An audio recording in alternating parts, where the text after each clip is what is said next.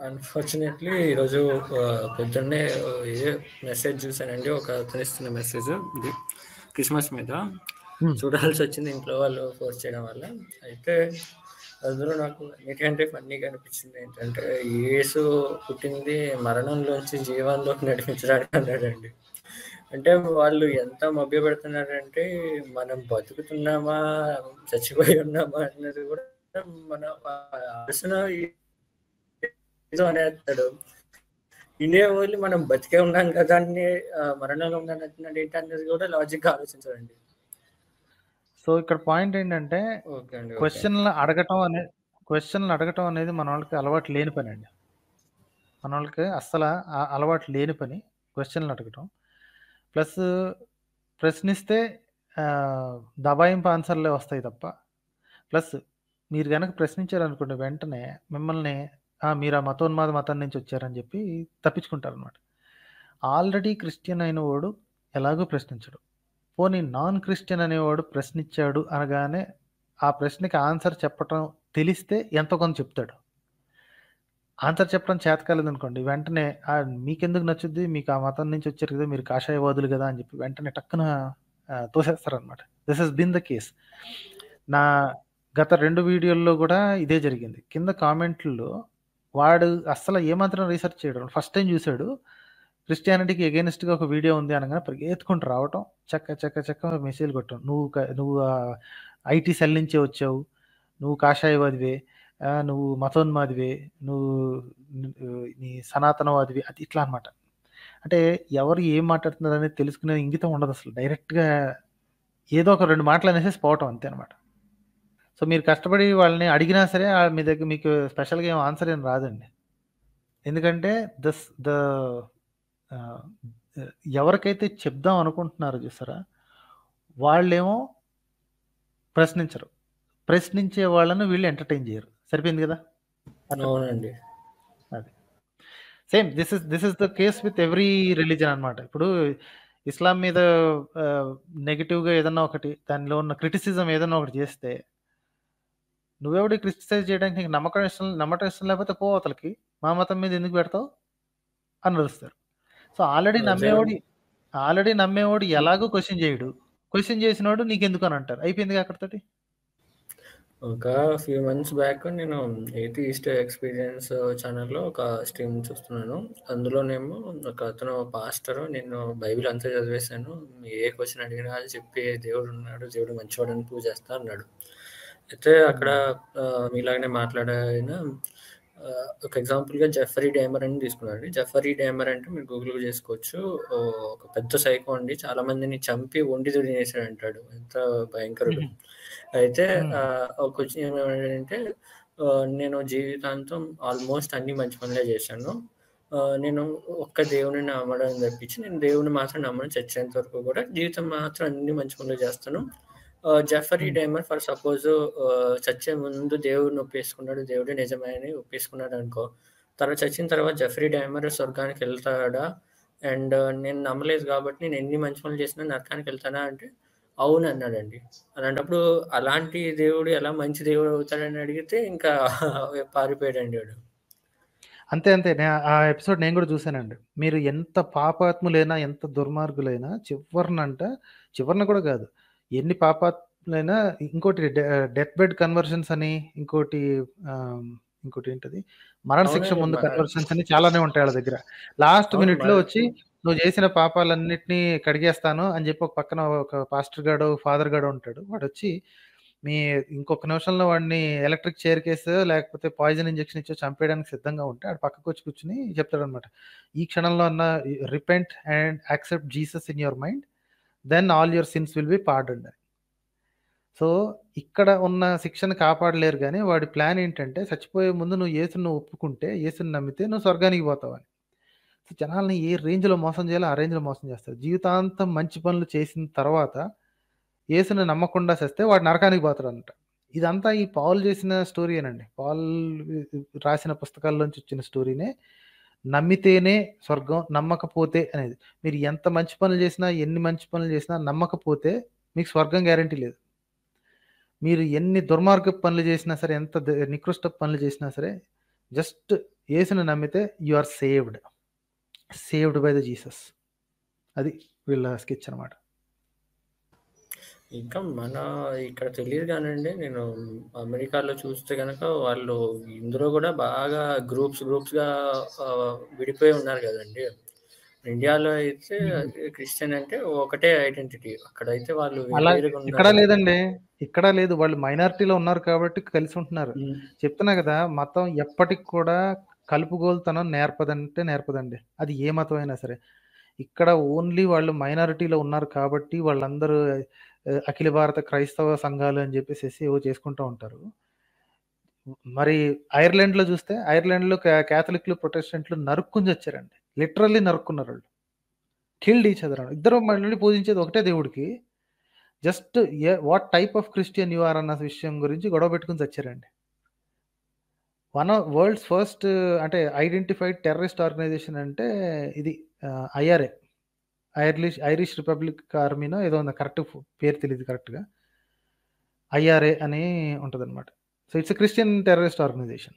So ఈ వీళ్ళందరూ కలిసి ఉన్నారని అనుకోవడానికి లేనే లేదండి. జస్ట్ ఇప్పుడు మైనారిటీలో ఉన్నారు కాబట్టి కలిసి ఉంటారు. ఇదే పని మనోళ్ళు ఇతర దేశాలకు వెళ్ళినప్పుడు కూడా ఇదే పని చేస్తారు. మీరు మొన్న సౌదీలోనో యుఏఈలోనో ఒక హిందూ టెంపుల్ ఒకటి చేశారు. జస్ట్ మేబీ ఈ సంవత్సరంలోనే అనుకుంటా ఎర్లియర్ ఇన్ దిస్ ఇయర్. అందులో చూస్తే అన్ని దేవుళ్ళు ఉన్నారండి. అందరి దేవుళ్ళు ఒకే చోట. ఆఖరికి సాయిబాబాతో సహా. అవునండి. నేను చూస్తాను నేను చూస్తాను దుబాయ్లో ఏదో పెద్ద రింగ్లో దుబాయ్ అనుకుంటా. సో దాని అర్థం ఏంటంటే మైనారిటీలో ఉన్నప్పుడు ఈ మతాల్లో ఉన్న వాళ్ళు వాళ్ళ వాళ్ళ డిఫరెన్సెస్ని పక్కన పెట్టి సంకలు చేస్తారు ఒకరి సంకల్లో ఒకటి చేస్తాడు అనమాట కాస్త మెజారిటీ రాగానే బలిసిపోద్ది ఒక్కొక్కడికి. బలిసిపోయి వాడు వేరు వీడు వేరు. మన దగ్గర ఇప్పుడు మెజారిటీలో ఉన్న మతాలు ఆ, ఏమో ఊరుకుంటున్నాయా? ఈ మొఘల్ రాజులు బ్రిటిష్ వాళ్ళు వచ్చాక అందరం కలిసామని చెప్పుకుంటున్నారు కానీ ఎవడు కలిసి ఉన్నాడండి ఆర్య సమాజీయులకి ఇస్కాన్ అంటే పడదు. ఇస్కాన్ అనే వాళ్ళకి ఇస్కాన్ అంటే కంచి పరమాచార్య ఆ పీఠాధిపతులకు ఎవరికి పడదు. ఆ పీఠాధిపతులు అంటే ఇస్- ఈ ఆర్య సమాజ్కి పడదు. పబ్లిక్లో అసలు యాక్చువల్లీ న్యూస్ పేపర్లో ఫో ఫేస్బుక్లో ఇప్పటికి కొట్టుకు చేస్తుంటారండి బాబు. చూస్తే కంపరం వస్తుంది అనమాట వీళ్ళేనా మన ఏంటి మేము Hindu I am Hindu we are Hindu అని చెప్పుకునేది వీళ్ళని? వీళ్ళు కొట్టుకు చేస్తుంటారండి. వాడంటే ఇడికి పడదు ఇడంటే అడిగి పడదు. యూట్యూబ్లో వీడియోలు పెట్టున్నాయి. కంచి పరమాచారి ఏదో అంటుంటాడు ఇస్కాన్ వాళ్ళు అలా మా ఏంటిది మోసం చేస్తారు అర్హత లేని వాళ్ళు మ్లేచ్చులకి ఏంటి కాషాయం అంటగట్టి వాళ్ళని అందరినీ లోపలికి తీసుకుంటున్నారని. కొట్టుకు చేస్తుంటారు వాళ్ళు. So so religion has never taught equality religion has never taught కలుపుగోలుతనం అనేది ఎప్పటికీ నేర్పించదు నేర్పించలేదండి. దానికి అసలు ఫండమెంటల్స్లోనే లేవు. మనము ఎదుటి వాళ్ళు వేరే వాళ్ళు వి అజ్ అండ్ దెమ్ అనే డివిజన్ చేయటమే రిలీజన్ యొక్క పాపులారిటీకి కారణం. ఇది ఆ పాత రాతియుగం నుంచి వచ్చిన గ్రూపిక్ గ్రూపిజం మెంటాలిటీ అనమాట ఇంకా uh, ఒకసారి uh, ఓషో గారు చె- చెప్తే విన్నానండి. Uh, ఇప్పుడు యేసు ప్రభు చనిపోయింది ఫ్రైడే రోజు కదా. ఫ్రైడే రోజున కాడి నుంచి దాని తర్వాత సాటర్డే. సాటర్డే అంటే ఆ కాలంలో సబ్బాత్ దినమని జ్యూస్ ఫాలో అయ్యేవారు కదా. అందులో ఏంటంటే వాళ్ళు ఏ పని చేయకుండా ఓన్లీ ఇంట్లో ఉండి దేవుణ్ణి ఆరాధించడమే చేస్తారు కదా. అదే. మంచి టైం చూసుకొని అప్పుడు బాడీని ఎక్కడో తీసుకెళ్ళిపోయారు యేసుప్రభు శిష్యులు. దానివల్లే మనం మళ్ళీ తర్వాత రోజు ఆదివారాన్ని బాడీ మిస్ అయిందని మనకి ప్రూఫ్ ఉంది.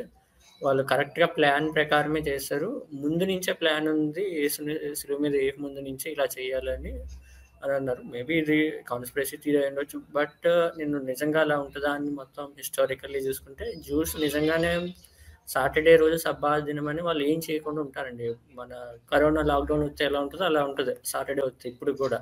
కొన్ని కొన్ని. ఏరియాస్లో ఇజ్రాయెల్లో. అండ్ ఐ వాజ్ షాక్డ్ అండి. లైక్ ఇంత రియల్గా అన్ని రీజన్స్ దొరుకుతున్నాయి. నిజంగా చచ్చిపోయాడు. నేను తిరిగి రేచే ఛాన్స్ లేదని అన్ని అవకాశాలు కనపడుతుంటే ఇంకా నమ్ముతున్నారని అన్నీ కనిపిస్తుందండి. తప్పదండి. That that's that's the way అది నమ్మకపోతే మీకు ఇది లేదు.